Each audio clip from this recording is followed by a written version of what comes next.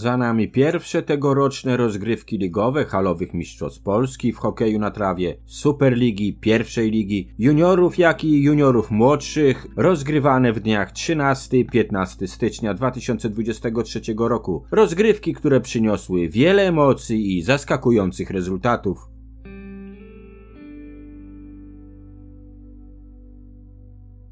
Pierwsze noworoczne spotkanie ligowe toruński pomorzanin rozpoczął z wysokiego C. Toruńscy zawodnicy urządzili ostre strzelanie, pokonując start 1954 Gniezno 14 do 3, wzbogacając swe ligowe konto o kolejne 3 punkty. Bramki zdobyli dla Pomorka Michał Raciniewski 5, Michał Makowski 4, Artur Kościelski 2, Arkadiusz Rutkowski Dmytro Luppa i Wojciech Rutkowski po jednej. Dla startu Maciej Wejerowski dwie, Damian Szymański jedną bramkę.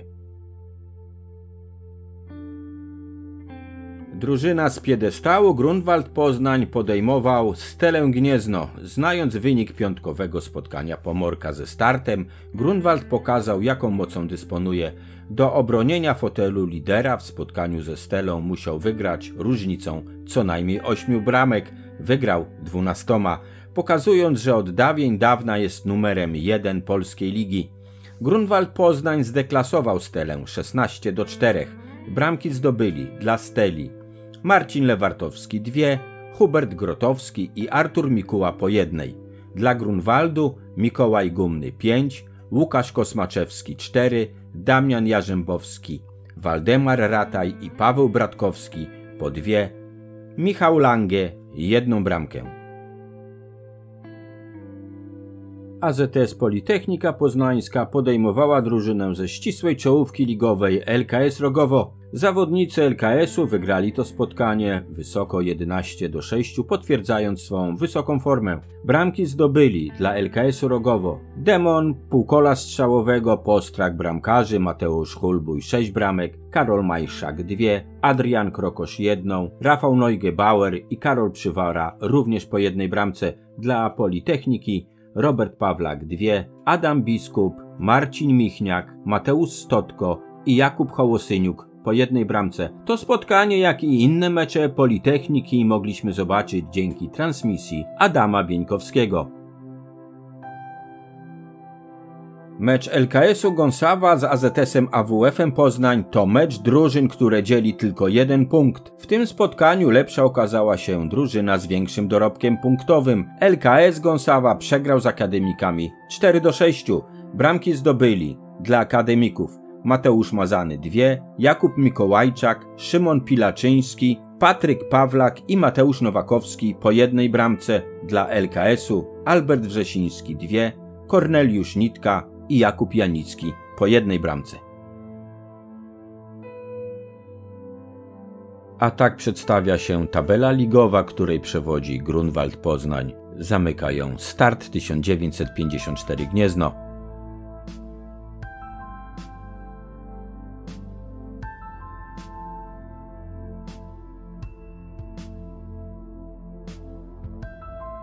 W Gnieźnie 14 stycznia rozegrano drugi turniej pierwszej ligi grupy wielkopolskiej, rundy eliminacyjnej halowych mistrzostw Polski w hokeju na trawie.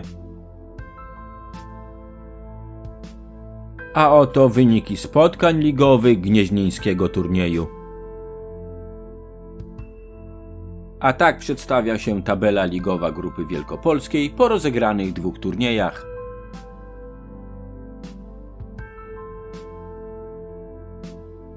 Skierniewicach 15 stycznia swój drugi turniej rozegrały drużyny tworzące Grupę Śląską. A oto rezultaty skierniewickiego turnieju.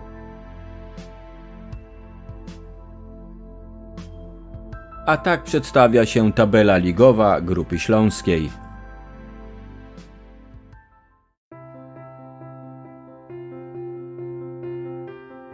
Również w Gnieźnie 15 stycznia rozegrano drugi turniej rundy eliminacyjnej halowych mistrzostw Polski w hokeju na trawie juniorów. W tym turnieju pauzuje HKS Siemianowiczanka, natomiast pierwsze spotkanie turniejowe zalicza start 1954 Gniezno, pauzujący w pierwszym turnieju.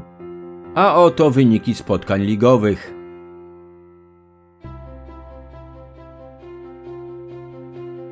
A tak przedstawia się tabela ligowa.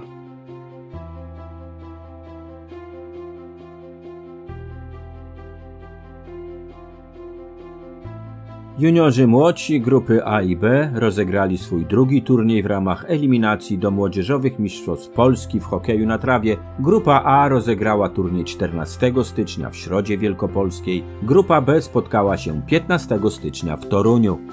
A oto rezultaty spotkań drugiego turnieju grupy A. Tak przedstawia się tabela ligowa grupy A.